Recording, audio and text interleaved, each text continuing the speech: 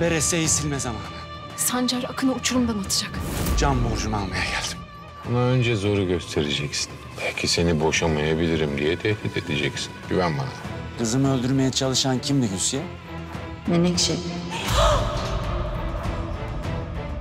Sen hayattayken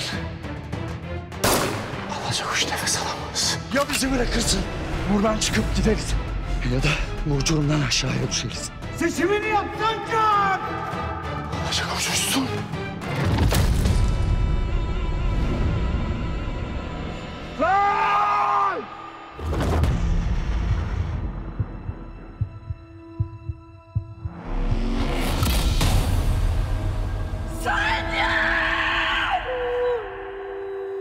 Sefir'in Kızı yeni bölümüyle pazartesi Star'da.